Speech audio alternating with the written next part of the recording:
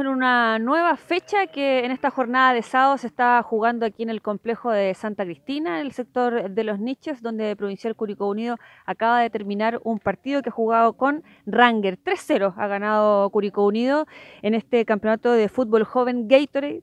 Eh, equipo de Curicó Unido que es dirigido por Damián Muñoz, esta novena fecha donde se ha jugado acá en nuestra ciudad y donde estamos junto a Gabriel Harding, porque de los tres goles que obtuvo Curicó Unido, dos de ellos eh, fueron anotados por Gabriel. ¿Cómo estás, Gabriel? Eh, ¿Qué te pareció este partido y los goles que tú pudiste aportar justamente para poder ganar en esta mañana contra Ranger?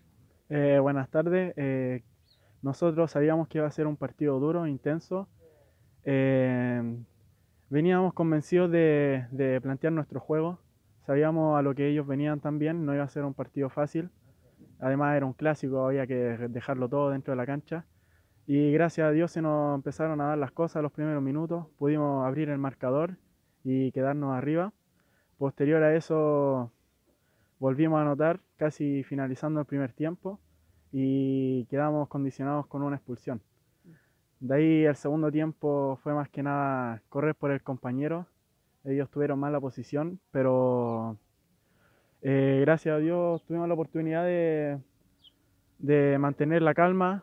Hicimos el tercer gol y nos pudimos relajar un poco sin bajar la intensidad. Y yo creo que gracias a la unión del grupo, estuvimos unidos los 90 minutos, eh, pudimos sacar el jugador menos que teníamos adelante y no nos vimos complicados en ese sentido. Un buen resultado entonces para esta mañana. Sí, buenísimo. Veníamos no tan bien en la tabla y con este resultado ya vamos retomando. Bien, gracias a Gabriel Harding, junto también a el gol de eh, Jorge Catejo. Eh, Curicó Unido logra obtener entonces este 3-0 contra Ranger en este fin de semana de fútbol que se está jugando aquí en el complejo de San Cristina.